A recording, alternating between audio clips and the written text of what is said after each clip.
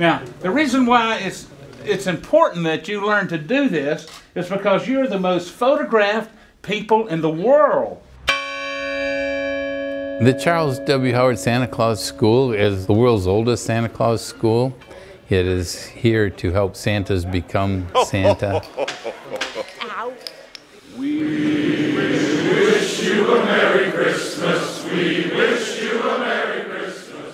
The Santa Claus School teaches the Santas how to build that Santa spirit in their heart.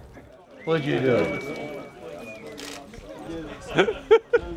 It's not how far you go in life, It's who you walk but with. who you walk with. That's nice.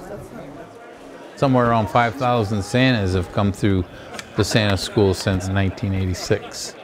This year we've had 200 Santas at Santa School, and 25% of those were Mrs. Clauses.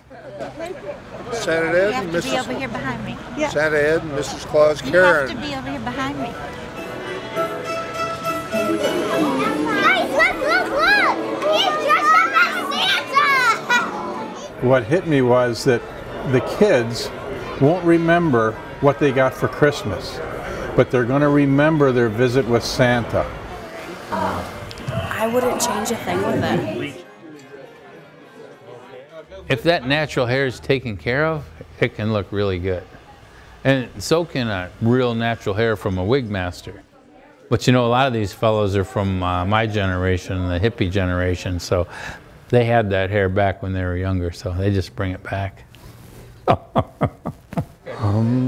It wasn't until I became Santa Claus that I actually grew up. My DNA changed. DNA stands for December Nice Attitude. Santa Jerry uh, has fun in life, so I'm sure he has fun being Santa. Yeah, baby. He's uh, he's a character. You Gotta put a helmet on. You leave your ego in the sleigh. So everyone is more heart centered and they offer their experiences or tricks to help you become a better Santa. Because you, you never learn at all. I'm, I'm not worthy. the simple grasshopper. Each year I help, I pick out one or two other rookie Santas and, and give them tips on how to be the best Santa they can be. Part of what I was asking him about was the kids that are afraid of you and how you deal with that.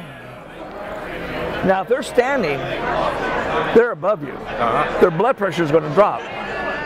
Learning the Santa spirit and going through the process we do makes you understand that there really is a Santa Claus. There's a Santa Claus spirit, and that spirit is in all 200 of these students that are here today.